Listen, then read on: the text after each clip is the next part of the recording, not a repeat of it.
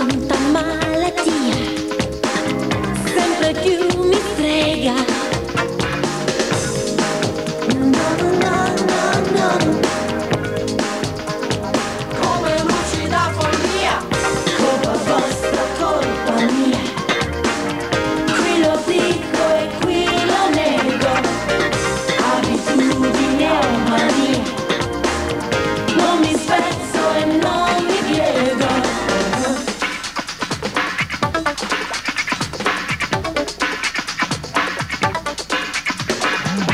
Le bugie dagli occhi bianchi sono folletti provocanti.